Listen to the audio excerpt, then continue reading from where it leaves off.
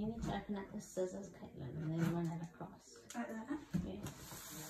Not towards you, away from you.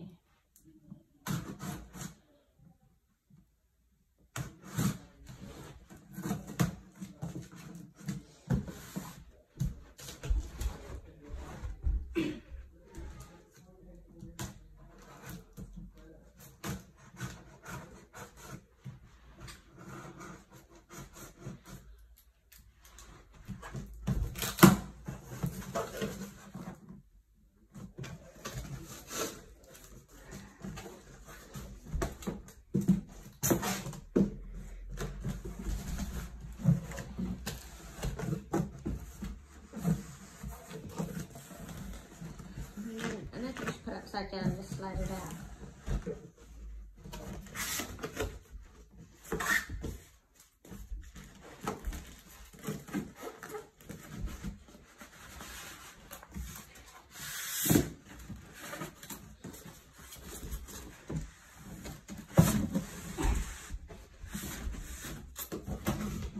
Yeah, put your Put your foot on the box.